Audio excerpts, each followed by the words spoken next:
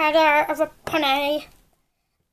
It's um, the main the main six characters here, and we'd like to just say this is the opening of the MLP Friendship is Magic calendar free because we didn't make an episode for the other two. Okay, who's gonna open it? Oh, oh, oh! Ah, well, because I'm so awesome. Okay, Twilight gets the first open. Here we go. I'm like gonna open this so hard. Yeah, so swag. Ooh, it's a chocolate. Oh, ooh, oh, do I get to eat it? Oh, it's a teddy bear. Yay, guards, it's a teddy bear. Then pick it up, Twi. Okay, James, you're just also mean.